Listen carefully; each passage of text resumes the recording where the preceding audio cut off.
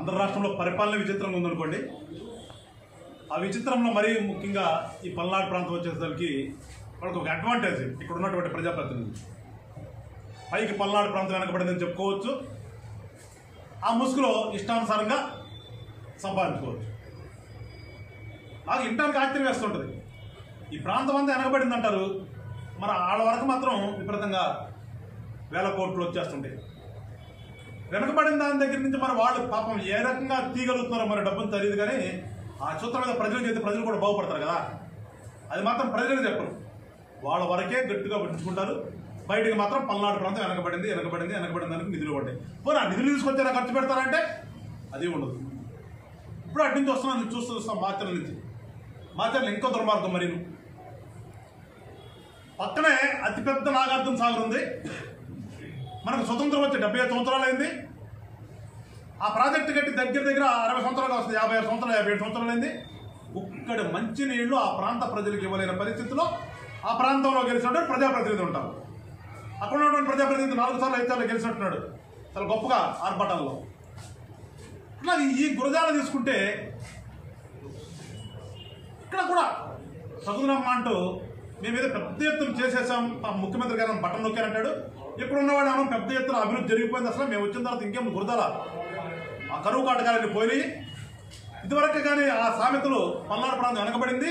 ఇప్పుడు గురజాల చాలా ముందుకు వచ్చేసింది అని చెప్పే ఈ ప్రబుద్ధులు దేంట్లో ముందుకు వచ్చిందని మేము ఆరాధిస్తే పక్కన ఉన్నటువంటి బట్రువారిపాలెం పంచాయతీలోని బట్రువారిపాలెంలో బట్రుపాలెంలో అక్కడ మద్యం అమ్ముకోవడానికి మూడు లక్షల తొంభై మూడు వేలకి ఓపెన్ ఆక్షన్ వేశారు దాంట్లో ముందరింది మరి తెలియదు మాకు. ఎందుకంటే మన రాష్ట్రంలో మన అందరూ తెలుసు పక్క రాష్ట్రాలకు కూడా తెలుసు. ప్రభుత్వమే మద్యం దుకాణాలు నడుపుతుంది మన రాష్ట్రంలో. మన జిల్లాలో కూడా అంతే. గురదాల నియోజకవర్గంలో కూడా అంతే. కానీ ఇక్కడున్నటువంటి ఎమ్మెల్యే గారు ఈ నియోజకవర్గం ఏ రకంగా ముందుకు తీసుకెళ్ళారంటే ప్రభుత్వం అమ్ముతుంది ఒక పక్కన. నాకు సంబంధించిన వాళ్ళు కూడా నాకు డబ్బులు కట్టి సంవత్సరానికి ఇంతకాడకు అమ్ముకోవచ్చు. అని తీసుకుని దాంట్లో ముందుకెళ్ళింది అని తెలియదు మనం ఇంక అంతకుమించి గురజాల వరకు ముందుకెళ్ళింది ఏం కనపడలా. ఆయన మాత్రం చాలా పైకి వెళ్ళేశాడు ఈ ప్రాంతంలో ఉన్నటువంటి ఖనిజ సంపదనంతా కొల్లగొట్టిస్తూ వారానికి ఒకసారి ఇక్కడికైనా ఇక్కడికైనా కూడా నాకు తెలిసి వారానికి ఒకసారి ఇక్కడికి వస్తారంట. పాప కమిషన్ ఏదో సూట్ కేసులు తీసుకుని మళ్ళీ హైదరాబాద్ వెళ్తారంట. అది తెలుసు. ఎందుకు చెప్తున్నానంటే ఈయనకి సంబంధించినటువంటి ఆస్తులు నరసరావుపేట ఎందుకు నరసరావుపేట కదా? నరసరావుపేట నుంచి ఇక్కడికి వచ్చినట్టున్నాడు నరసరావుపేటలో విద్యా సంస్థలు ఎప్పుడో వీళ్ళ తాతల గారిలో లేదంటే వీళ్ళ కుటుంబీకులు ఎప్పుడో పెట్టారు. అది ఒక ఇరవై ఎకరాల చిల్లర ఏదో ఉన్నట్టుంది విద్యా సంస్థలకు సంబంధించినటువంటిది.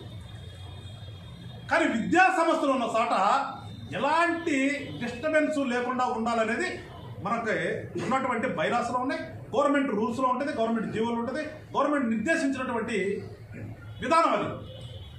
కానీ ఇవాళ పాపం ఇక్కడికి వచ్చి ఎమ్మెల్యే గెలిచాడు కదా మరి ఇక్కడ తీసుకున్న డబ్బులన్నీ ఏం చేయాలి? ఏదో చేయాలి కదా.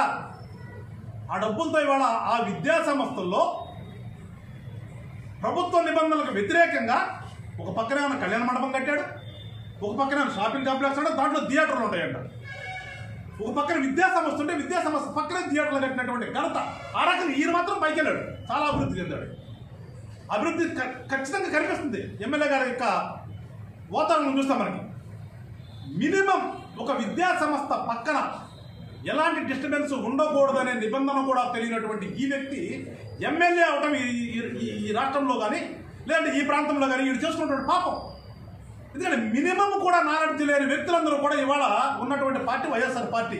మాకు నూట యాభై ఒకటి వచ్చింది ఇంకొంతమంది మాకు వచ్చారు మాకు దేవుడు ఆశిస్తున్నారని చెప్పుకుని ఈ ముఖ్యమంత్రి గారి యొక్క థీమ్ ఎలాంటిదంటే గవర్నమెంట్ నిబంధనలు కూడా వాళ్ళు తెలియవు.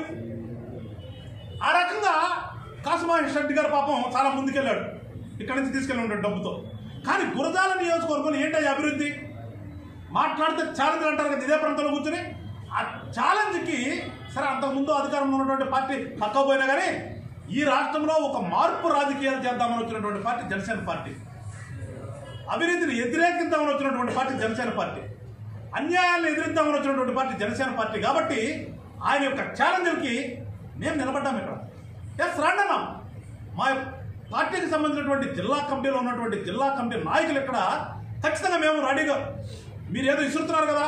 మీరు ఇచ్చిన దానికి మేము సిద్ధంగా ఉన్నాము. ఈ నియోజకవర్గంలో ఎంత అభివృద్ధి జరిగింది? ఎస్ చర్చిద్దాం రాండి అన్నప్పుడు ఎవరు రావాలి? నీకు కూడా ఆ స్థాయి ఉన్నటువంటి వాళ్ళని పంపించాలి. నీకు ఆ స్థాయి లేనటువంటి నీ యొక్క మండలానికి సంబంధించినటువంటి నలుగురిని పంపిస్తే వాళ్ళకి ఏదో కాగితం రాసిస్తే పాప ఆ కాగితం ఏముందో వాళ్ళకి తెలియచావు వాళ్ళ ముందు కూర్చోబెట్టి పలానా పలానా రాశాంరా ఈ రకంగా మాట్లాడాలని చెప్పి పంపించాలి కదా. ఆ చెప్పడానికి కూడా వీడికి ఎవరు లేడు. చెప్పాలంటే నిజం ఉండాలి కదా నిజమలేని అబద్ధాన్ని ఒక పేపర్ రాసి పంపిస్తే మన పాపం వచ్చి ఏం చేస్తారు అక్కడ మా తరపున మా పార్టీ తరపున మా జిల్లా కమిటీ నుంచి వచ్చారు.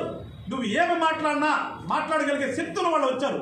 కానీ నువ్వు ఒక ఏడుగురునో ఇంగిత జ్ఞానం లేని ఏం మాట్లాడాలో తెలియని పంపించి చర్చకు వస్తారా? అదే చర్చ అండి. నీకు నిజంగా నీ మీద నమ్మకం ఉంటే నిజంగా మంచి చేశారని నీకు తెలిస్తే అభివృద్ధి జరిగిందని నువ్వు నమ్మితే అది నువ్వే కూర్చోవచ్చు కదా? ఏ ఎమ్మెల్యే గారు ఏమన్నా ఇప్పుడు ఇంకేమన్నా ఎమ్మెల్యే గారు పెద్ద స్థాయి ఉంటుందా? ఎమ్మెల్యేకి ఉక్కు ఓటే ఉంది.